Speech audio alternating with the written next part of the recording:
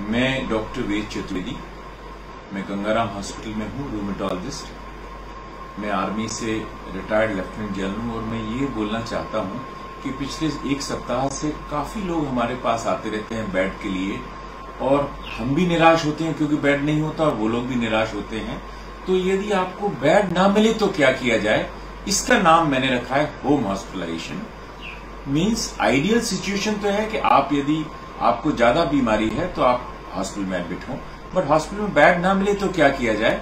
इसको बोलते हैं होम हॉस्पिटलाइजेशन इसके लिए आप क्या करें? देखिए माइल्ड डिसीज है तो आपको कहीं जाने की ज़रूरत नहीं। घर में रहिए छह सात दिन में ठीक हो जाएँगे। बट यदि आपको बीमारी ज़्यादा है और आपका ऑक्सीजन लेवल जब कम होने लगता है, तब आपको हॉस्पिटल की ज़रूरत पड़ती है। तो आपके पास पल्स ऑक्सीमीटर होना चाहिए। यदि आपका ऑक्सीजन सेचुरेशन 94 के ऊपर है तो कुछ करने की ज़रूरत नहीं है। 94 से नीचे जाता है तो आपको थोड़ा चिंता का विषय होता है तो आप क्या कीजिए कि आप एक चीज़ प्रैक्टिस कीजिए कि पेट के बल लेटने को, जिसको कि हम बोलते हैं प्रोन पोजीशन नॉर्मली हम पीठ के बल लेटते हैं, इसमें पेट के बल लेटिए और दो दो घंटे लेटिए और दो तीन बार दिन में करिए तो आपका ऑक्सीजन लेवल बढ़ जाएगा, क्योंकि जब आप पेट के बल लेटते हैं तो आपका लंग एक्सपैंड होता है। दूसरा चीज़ है, जब इससे ठीक नहीं हो रहा है तो आप घर में ही ऑक्सीजन सिलेंडर या ऑक्सीजन कंसेंट्रेटर ले लीजिए। दोनों में क्या अंतर होता है कि ऑक्सीजन सिलेंडर को बार बार रिफिल करना पड़ता है?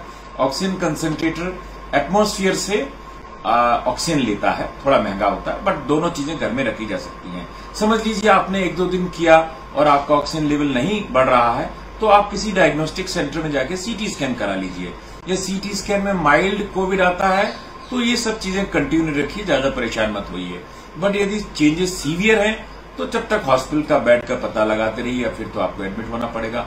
और यदि मॉडरेट है तो आप अपने, क्या कीजिए लोकेलिटी में एक डॉक्टर के टच में रहिए, जिसे हम लोग बोलते हैं टेली मेडिसिन तो वो डॉक्टर आपको मॉनिटर करेगा कि आपको आपको एक दवा दी जा सकती है, उसका नाम है स्टेरॉयड वो वाइसलोन की टेबलेट आती है 20 मिलीग्राम वो रेमसिडिविर से भी ज़्यादा इफ़ेक्टिव है, और 20 मिलीग्राम की टेबलेट आप डेली ले सकते हैं। समझ लीजिए आपने ये सब कर लिया, आपने ऑक्सीजन भी ले ली, आप आपने स्ट्रॉइड भी ले लिया, आपके डॉक्टर आपको बोलेगा, भाई, आपको बीमारी ठीक नहीं हो रही। तब आपको हॉस्पिटल में एडमिट होना पड़ेगा।